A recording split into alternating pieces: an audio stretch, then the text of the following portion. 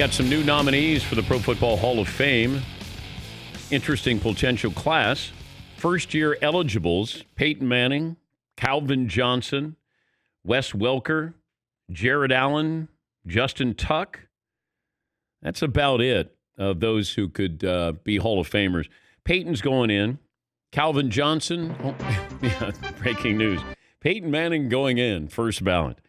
Jared Allen, Hall of Famer. Does he go in first ballot? Probably not. Calvin Johnson, Hall of Famer, first ballot? I don't know. I don't know. I'd have to look at Calvin Johnson's numbers. Uh, Jared Allen's got a lot of sacks.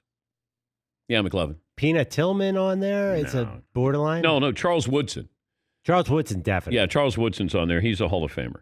But uh, Jared Allen, um, Peyton, Calvin Johnson, Wes Welker, not. What do you have on Calvin Johnson, Paul? Uh, not first ballot. Was that your Yeah. Jim Boeheim impersonate?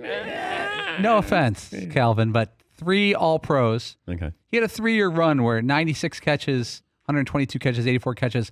He basically had 1,500 yards or plus a year. Yeah, he had a season with 1,900 yards. Really good touchdown guy. But then he had a bunch of seasons with you know 67 catches, 77, 71. So not a Hall of Famer.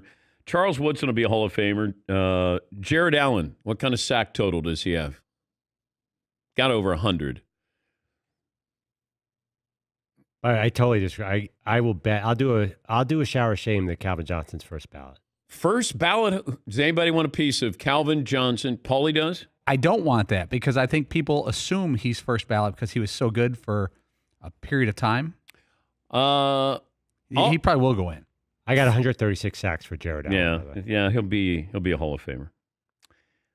I'll take you up on the Calvin Johnson.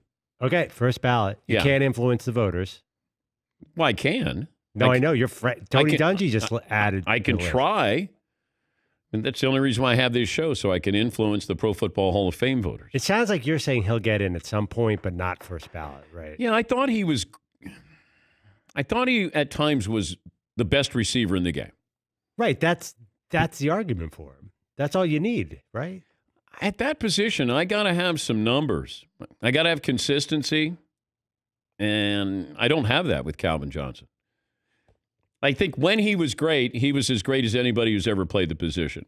But he had those were three great years, and then he had some good years. Like, who are the no-brainer receivers ahead of him? Like, I mean, there's a Randy Moss and Terrell Owens and those guys, but Well, you don't have to put in a wide receiver this year. right. I'm just saying in general, though. Like, yeah, there's huge wide receiver numbers, but it, that's going to come in like six years when Julio Jones gets there. Yeah, Larry Fitzgerald.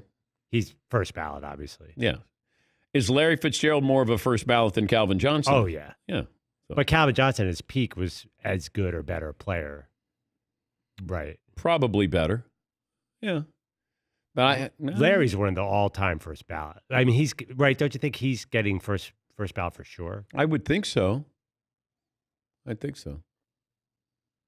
Yeah, Paul. Larry Fitzgerald's only been all pro once. He's never had, you know, 130 catches in a year, but he had a whole bunch of 100 catch seasons, and he had them a decade apart. You're driving Mm-hmm. me nuts with these catch numbers. They don't. They don't even, even come into the conversation. Wes Welker has a million catches. Okay, so what matters? Receiving yards. That's the only stat they. That's how they rank the receivers. What about touchdowns? Does that matter? Eh. Eh. No. Well, well, what if you have a lot of yards but you don't score? It's a function of the offense, right? That's what everyone would say. Did I mean Calvin? I think has the touchdown record, doesn't he? Oh, for a Single single season. season? Doesn't Randy Moss Or one of those two guys does. I think Randy Moss had 23. 22 or 23? Uh, Fitzgerald averaged 12 and a half yards a catch for his career. I think uh, 16 for uh, Megatron. That's pretty good. Yeah. That's probably up on the all time list there. I'm going to go. But what is Calvin Johnson remembered for? He's remembered for bringing about the ground can cause a fumble, you know, the completion, completing the act, right? That happened, I think, against the Bears in the opening game of the season a few years ago, where touchdown went down you know, just to prop himself up with the football, lost control of the football, and then that was didn't complete the process. The other part is he ended up having uh, a well, it's still a poor relationship with the Lions that he walked away from the game because he didn't want to play football anymore. Yes, he. I wonder if in some way the referees get that call right and it's ruled a catch if he plays longer somehow. I mean, think about what a mental and emotional drain that was. I wonder if somehow he ends up playing longer if they get that call right. The Lions' two best players, Barry Sanders and Calvin Johnson, walked away from the Lions in their prime. For differing reasons, I'm I'm guessing. But, you know, Barry just got tired of losing. And he retired at what, age 30? Yeah, McLovin. I, I mix up the records. Calvin Johnson has the best receiving yards, but you're right. Randy Moss with 23 is the most touchdowns. Most receiving yards in a three season span uh, all time. Calvin Johnson, then Antonio Brown, then Julio Jones, and then Jerry Rice. So I don't know if that matters. If they're looking at a three year window, he played in two playoff games, but I, I don't think he's a first ballot. Yes, he, That, that makes him sound a lot more Hall of Famey, doesn't it? with the two playoff games. No, the uh, being there, he's at the top of that list with Antonio Brown, Julio Jones, and Yeah, but it's a, Rice. but it's a three year window. At that position, can three years get you into the Hall of Fame? Yeah, Paul. That harkens back to my Tiki Barber argument, where he had a. You love you love talking about Tiki Barber. I do. People don't like him, but you can't deny this. Do you see the stat I sent around earlier? I know, and I quickly deleted it. I was like, Undelete it.